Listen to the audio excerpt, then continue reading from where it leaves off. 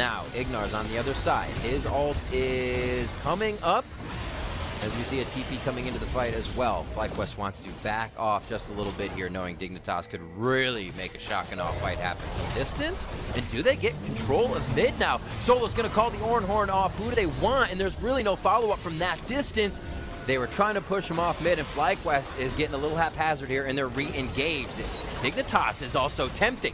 Solo's out of position here, Kobe. This one's getting a bit zany. That's going to be a lockdown onto Solo, and that's exactly what he is, trying to get back with his team and not be the Lone Ranger here. Viper goes down immediately again. Not so much thick skin on the bear this game. Santorin starts to get the Rangers focus in from Johnsun, and that becomes a little tougher to take down the tank. Aphromoo finds himself as the caboose in this retreat, and he goes down, and it's going to keep following up. The dominoes start to fall for Dignitas, and Santorin and the rest of the team are the ones to pick him up. Yep, FlyQuest, they even have the teleport for Solo. He's back out onto the map. The Baron will get picked up. Froggen gets chased out of Dignitas' own jungle by Power of Evil, and that is going to be the tipping point. FlyQuest with this should be able to crack inside the base, take those inhibitor turrets down. Man.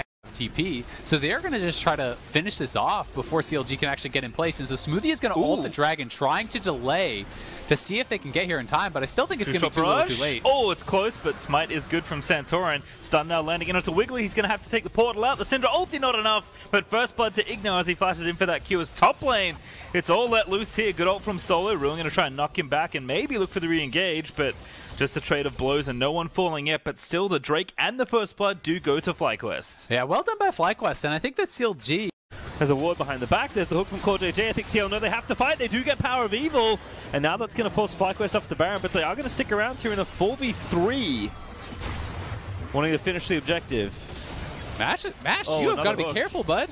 All right, Ulti's going to miss, but Jensen's going to get in there, and Ignar cannot save his teammate. Now the Baron is way too low, but Solo's going to lock him up. Santorin's going to try and finish it off, but the Baron still has 700 health left, and oh. he steals the Proxa! Leaps into the pit, he's able to take that down, and that went so wrong for FlyQuest. Oh, Mash trolled that so hard. Oh no, FlyQuest should have had that 100%.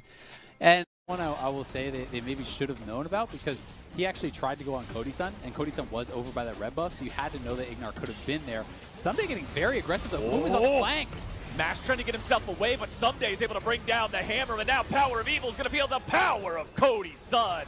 Look at the damage flying out through these spears, as Ignar should likely die here. The solo kill coming out from Ssumday as well. Ryoma's Doesn't behind have the them. flash to go over the wall and chase him. Ryoma coming in from behind.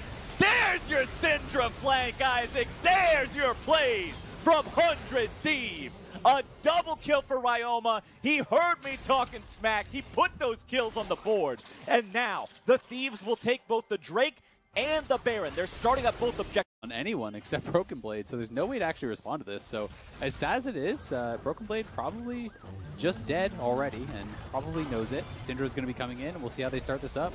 Ults a lot of the waves, Solo ults in, a lot of damage. They turn off the turret. There is no possible way you survive. It was effortless, and the gold comes over. A second assist for Power of Evil. Now Ignar wants it. If Bjergsen is out of mana, easy autos come in. Couple of slows there. Really good chunks. Bjergsen forced to go away, and Turtle says, hey, remember me? We used to be teammates, and I got you killed yet again. Now Spica's got to run back out of his turret, back down, and wow, that's Ignar going in. You got to be kidding me. TSM are in shambles. I mean, Spica is paper. He, he, didn't have anything except the jungle item and boots at that point. He just bought a root. Supportive of these two big hyper carries, recognizes it's all about Azir and Aphelios as Damonte is coming in from the side yet again. The Galio is always showing up, getting ready to take the fight to FlyQuest. Now he's nearly going to be killed off. Damonte disengaging as Solo controls Hauntzer and tries to prevent the flank. Closer's coming in, and Santorin is People already down. gone. Wild Turtle going in. Here comes Power of Evil. The damage has showed up for FlyQuest, and the shutdown comes through. Hauntzer has no stasis. That's what happens when Kennen doesn't have utility. But Damonte's right back into the fight. He will trade his life for Ignar. Mid laner for support is not usually the one for one that you aim for, and FlyQuest will win that fight. River mostly belongs to FlyQuest. It's Immortals playing defense in the mid lane, knocking down the waves, giving some gold to Insanity. TP spent for Apollo to come in. He has to have Blade of the Ruin. Can have a chance this fight. Allorim walks into the Fog of War. They're going to hook him in. Decent damage, but he is the tank. He is built for this. Is it going to be enough? Still pushed around, and he's going to have to flash away to save his life. Ulti's come in. Turtle gets the kill, and a flash out from Insanity away from Shockwave. A 1 for 0, and Immortals could not hit the back line at all. They simply kill the Allorim tank side, and all will be well. Gold card doesn't mean much. They're going to flash in on Solo's side. Looking to knock down Insanity. He's going to force to run away as well for his own flash to get out for this one. And now Solo's got to be careful. He's going to kite back, but it's still a 5v4 for FlyQuest. And again, they know Cloud Solo's waiting for them. 25 seconds on Allorim respawning, has ulti and TP when he does. Xmithie wants to make something happen, can't do it just yet. Santorin in the pit, no vision right now for Immortal. They have to go in at some point or they can't make it happen. When does Xmithie come in? He's rooted in place. Cloud still grab TP in. This is the fight that somehow Immortals must win, but they've already lost their support. Insanity slowed down by the box, can't find a target. Attacked by Santorin, stunned in place, and he's not going down. Finally, one kill picked up. Look at the chase down, but already the mid lane is going to drop. Burn the stopwatch. Solo being attacked. Can Apollo kill him? He's trying. He's trying. He's rooted, and the heal comes back through, and he simply cannot die. Allorim late to the party by himself. It's not gonna matter. He kills one. Turtle tries to kite the rest. He gets a shield, and that's gonna be an ace. Immortals are about to lose their season. FlyQuest not only it is basically three CC tanks and and just the Swain burn that EG would have to worry about. So Turtle's positioning is going to be huge. Well, nice attempt there. Hook's going to kind of buy some time. Out they go. Drake back now in 35 seconds. More Swain W. Gets some more health. Thanks, Zeyzal. Nice little heal for him. And we've got another attempt. Well, they have found those kills time and again.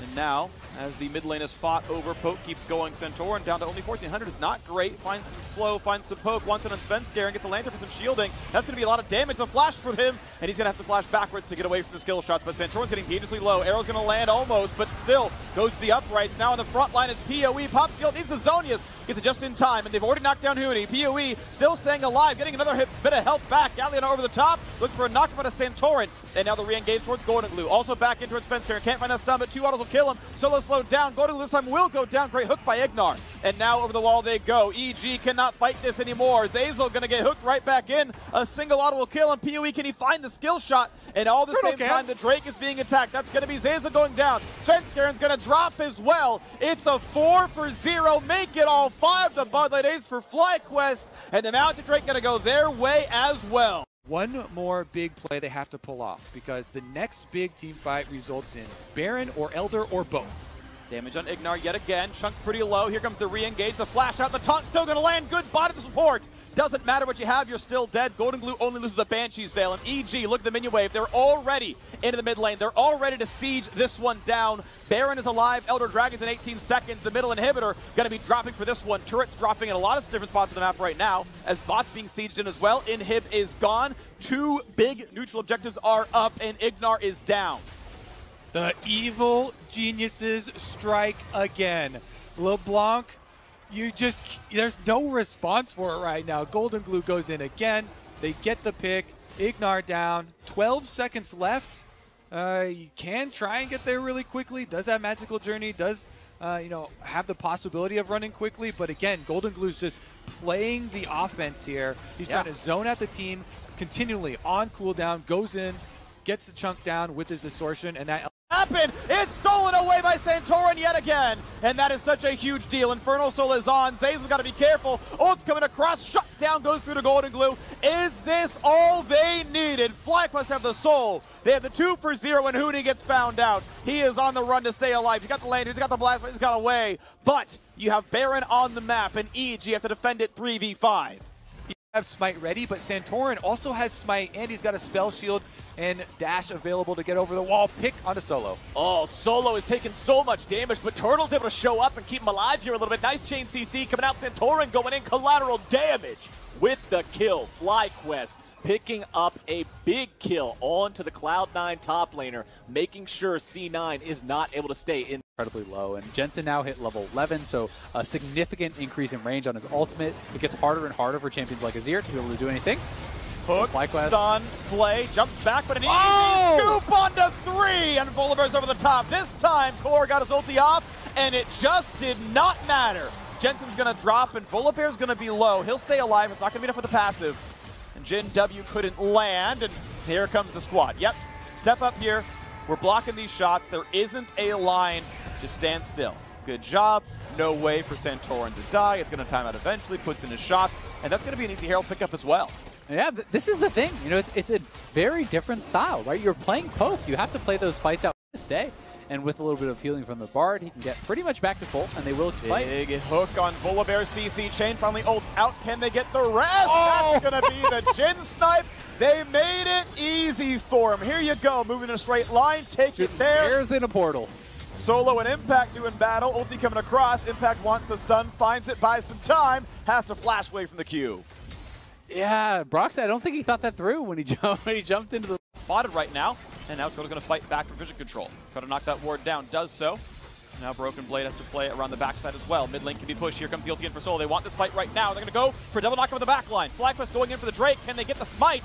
Level lead into Santorin. Burst comes in. Santorin's gone already. A one for zero so far, and Zillion still waiting on the ulti. FlyQuest have already lost the fight, and it's barely begun. Solo running low on health. No damage coming through to the back line of TSM. Damage through the power of Evil trying to run away. Broken Blade will be revived. Yes, he will. Two for zero so far. Looking at a third as Wild Turtle's forced to run away. Devil could be the target. Not knocked up though. Solo running out of health. Dragon Soul claim. Oh, already the fight is three for zero. Looking for a fourth Doublelift. Claims the kill credit onto Solo. Broken Blade claims Wild Turtle. And Ignar can only watch as he runs away. And TSM can look for the kill. They're surely gonna find it. One more auto. And it's time to go for Baron. They are going for the Baron. They got the Dragon Soul. They got the Bud Light Ace. To be able to grab a Dragon here to push back any potential for a Soul. And they're going to try to start it off with a pick on Turtle.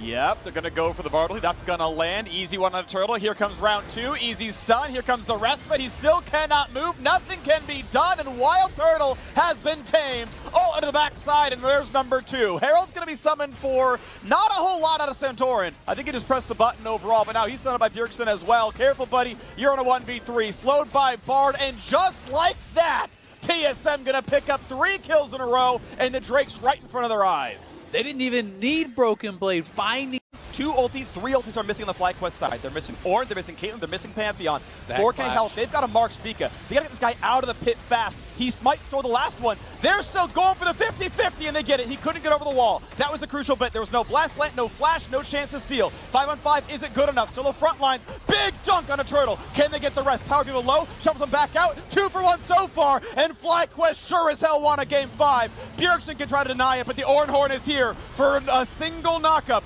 Biofrost is down, and a 2v5. The TSM solos again left alone, but FlyQuest got everything they want. It's smelling like game five here, freak.